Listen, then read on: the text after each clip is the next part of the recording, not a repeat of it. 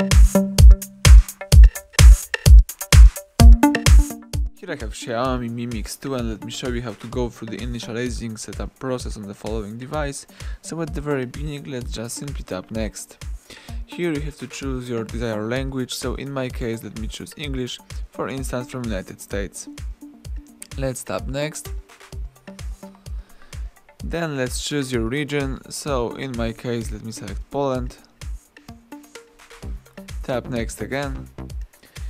Right now you can connect your device to a network, it's not necessary you can bypass this step by choosing skip, but it's always a good idea to have an internet access, so let me choose my Wi-Fi. The Xiaomi is obtaining IP address and the device is connected, so let's go next. Here we've got some terms and conditions.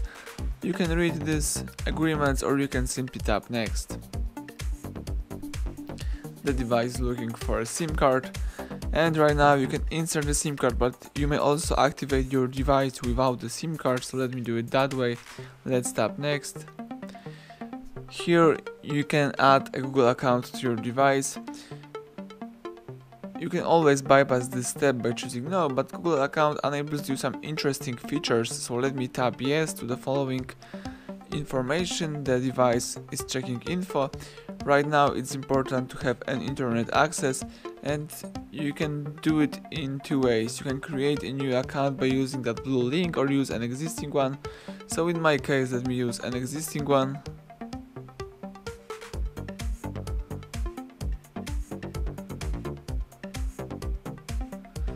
Let's tap next again.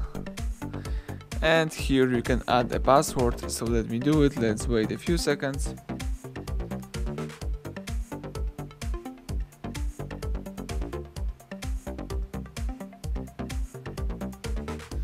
Alright, let's tap next. Let me accept terms of service and privacy policy. The device checking info. Here you have to decide that you would like to automatically backup device data or you can disable this feature.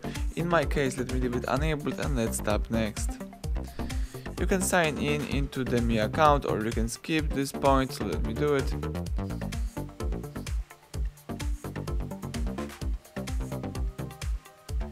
Let me tap skip again. You can add a fingerprint or you can do it later in settings so let me do it later. Let's choose skip this step here we've got some other settings that you can disable or enable, for example the location, using user experience program, wallpaper, sending diagnostic, update and other stuff. Let me go next. Let me tap agree to improve location accuracy, choose your theme of the wallpaper and let's go next. As you can see setup completed, you are ready to rock, let's tap next. The device is loading the apps.